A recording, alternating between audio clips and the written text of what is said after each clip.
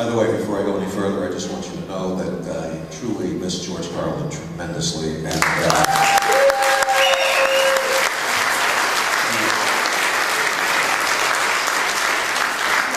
there is no comic alive that, can say they weren't influenced by him in some way, or even our culture. And uh, there's something I'm never going to forget with him. He, uh, I bought his book, uh, When is Jesus Going to Bring the, the Pork Chops? And uh, it's really, really funny. I was laughing out loud on the plane. and It's something I usually don't do unless I, uh, you know, misguess my medication. And uh,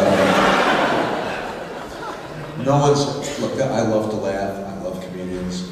Honestly, for me, no one's ever made me laugh out loud as much as he did. And uh, so I'm reading the book, laughing out loud. People are going, what are you reading? So I'm on a radio station in LA, and I say, I just read this book. It's hysterical, you know. And Carlin calls me up at home, and he goes, are you selling my book on the radio? And I said, I read it, and it's really funny, and I was talking about it. He said, why would you buy the book? If you would have called me, I would have sent you one. And I said, George, I'm not going to call you up and ask you to send me a free book. So, like three hours later, there's a knock on my door. I open it. I swear, I'm not making this up.